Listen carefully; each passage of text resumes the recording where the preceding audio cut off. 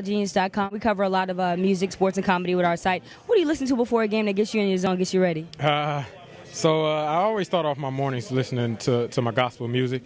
Uh, I listen to a lot of Kirk Franklin and Fred Hammond.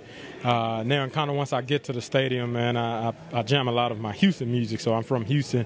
Uh, a lot of local rappers from Houston that, that I grew up listening to. I kind of just jam that, and it kind of just keeps me keeps me humble, keeps me to myself, and uh, gets me back to to how I feel, how I need to feel before I go play again. Now, post game style. America just running through people.